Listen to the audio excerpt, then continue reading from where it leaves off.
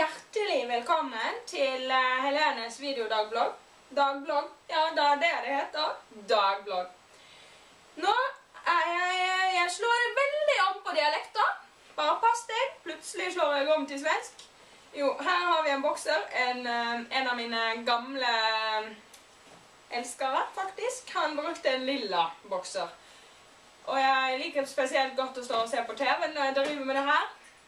Men jeg tenkte jeg skulle vise dere hvordan eh, jeg bretter tøy.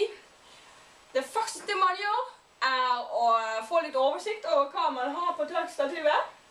Her for eksempel har vi eh, en eh, ullsokk fra Gudbrandsdalen.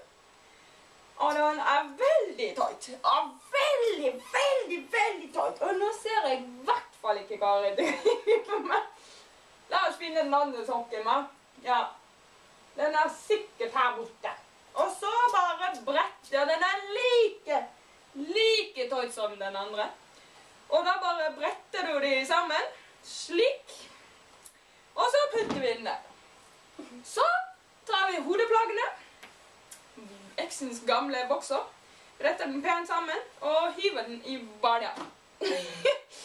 og så har vi et uh, ullundertøy, og ullundertøy dere er veldig, veldig fint å ha på fjellet.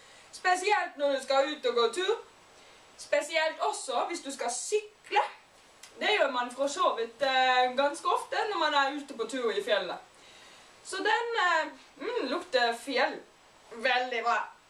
Da, den kan vi bare, egentlig bare hive rett i bøtta, for den uh, skrukker seg ikke til. og, og så Eh, Forresten, har du sett mine fine gardiner, eller? Å, gud a meg. Jeg er så fornøyd med de, altså. Over hele stua.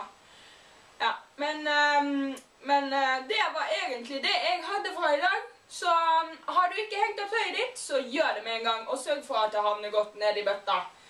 Godt ned i bøtta. Egentlig så kan vi bare hive alt sammen. Alt sammen oppi bøtta. Ja! vi bare hiver alt i bøtta, og så bare stapper vi det inn i skapet.